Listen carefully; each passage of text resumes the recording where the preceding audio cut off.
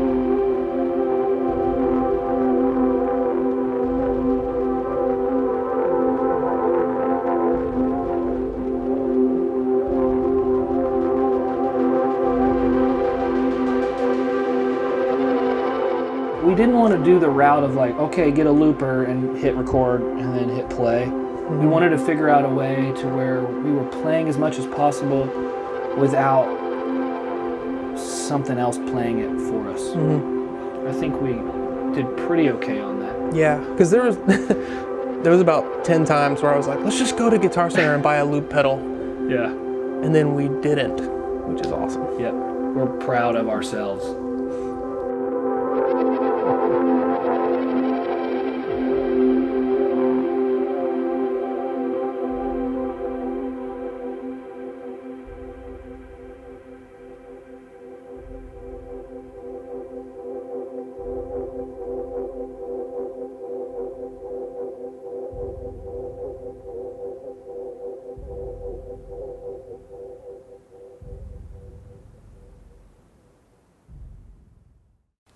Good job, Dad. Good job, Dad.